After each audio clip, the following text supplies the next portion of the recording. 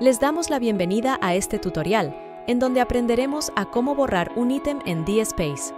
Para eso dirigimos a nuestro repositorio DSpace e iniciamos sesión con una cuenta de administrador. Esto es importante para poder eliminar el ítem.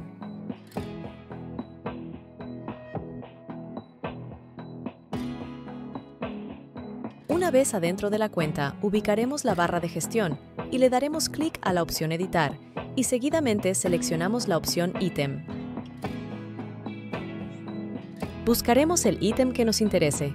Para el ejemplo, yo seleccioné un artículo de prueba.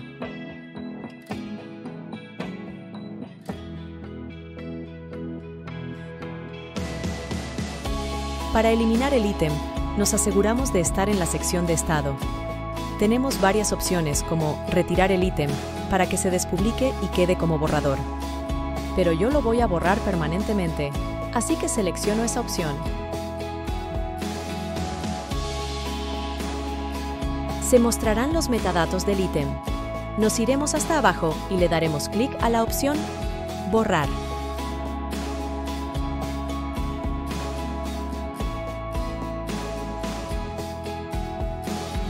Finalmente, corroboraremos en la comunidad y colección correspondiente la eliminación y efectivamente ya no encontramos el ítem. Muchas gracias por su atención.